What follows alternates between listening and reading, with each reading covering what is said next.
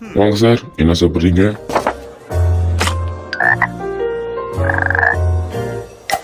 Con.